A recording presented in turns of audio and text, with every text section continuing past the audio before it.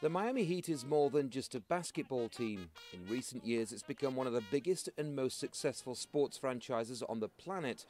Players like LeBron James have helped the Heat become a global brand, and their prowess on the court is formidable.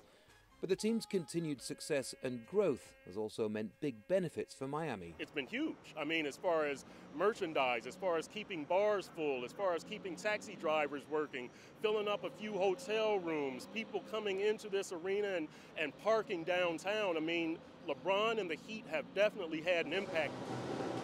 It's an impact being felt by small local businesses like the Wynwood Brewing Company. They only opened their doors a few months ago but after an executive from the Heat dropped by, a new beer was commissioned. This is White Hot Wheat, and it represents a huge boost for this Miami business.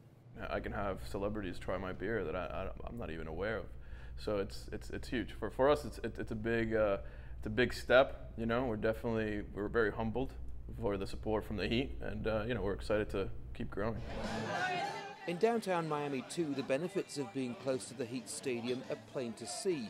Will Call only opened two years ago, but business is brisk.